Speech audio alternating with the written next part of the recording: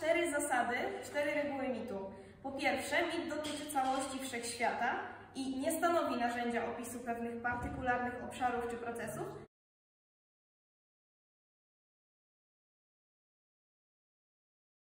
Działa w taki sposób, żeby ym, naszą pamięć, tożsamość i ogólnie całą osobę przenieść na nośniki niebiologiczne.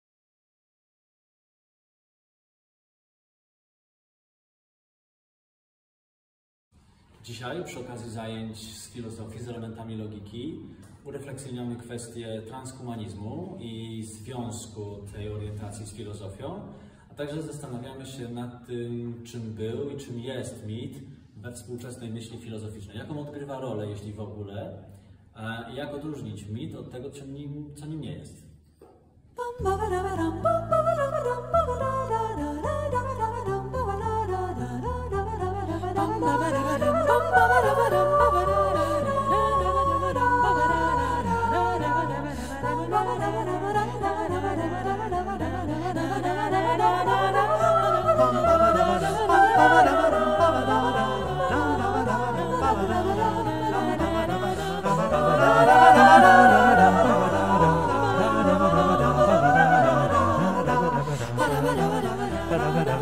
ba da ba da ba da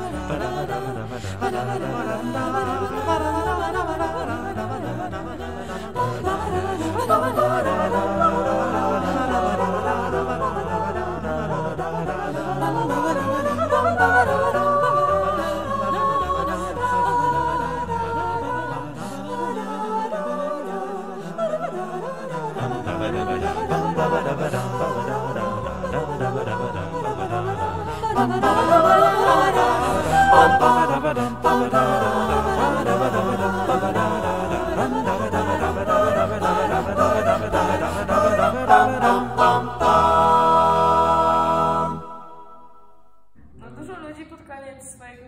uważa, że nie zdążyło zrobić wielu rzeczy, które chcieli zrobić, bo na przykład coś im w tym przeszkodziło.